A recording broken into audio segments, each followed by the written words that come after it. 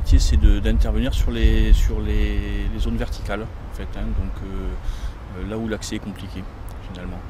Donc on utilise bien sûr des cordes, on met des amarrages et puis on met tout un système de sécurité pour pouvoir accéder en fait au site. Et à partir de là, on travaille, c'est-à-dire qu'on va faire des métiers différents, mais, mais, mais sur une corde.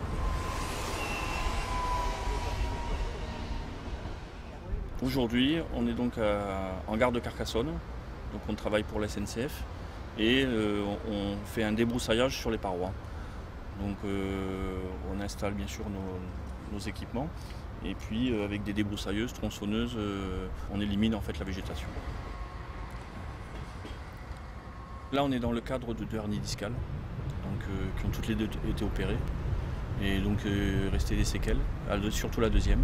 Je suis, disons que maintenant j'ai des, limitations. Au départ j'étais élagueur dans, l'entreprise, hein, donc euh, c'était moi qui ai grimpé dans tous les arbres.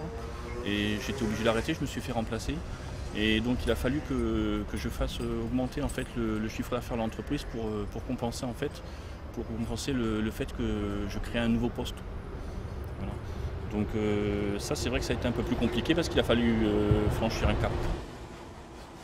Aujourd'hui, par exemple, j'ai fait beaucoup de mise en place d'amarrage, euh, euh, des montages des mains courantes, etc. Un petit peu, et l'organisation aussi en général. Voilà, donc il y a des choses que je n'ai pas fait. Par exemple, je n'ai pas débroussaillé du tout. L'avantage avec les métiers de, cordiste, c'est qu'on est souvent en fait euh, pendu, disons, sur, une, sur la corde avec une position avec le doigt relativement droit. Donc on souffre moins. Ce qui a changé, c'est d'avoir des souffrances physiques. c'est ça qui a changé finalement. Mais après, le statut me dérange pas tellement. Bon, c'est vrai qu'il y a un côté péjoratif, il y a un regard certainement des gens, mais bon, après, on communique pas spécialement tout le temps là-dessus. Hein. c'est pas, euh, on, va pas s'en vanter non plus. Mais bon, on s'en cache pas non plus. C'est pas, voilà. C'est vrai qu'on était euh, deux salariés euh, handicapés en fait dans une entreprise de, trois employés fixes. Donc c'était une bonne moyenne disons par rapport à ce ce qu'on trouve ailleurs. Finalement un travailleur handicapé peut faire des choses que peut-être même des travailleurs non handicapés, handicapés ne feront pas.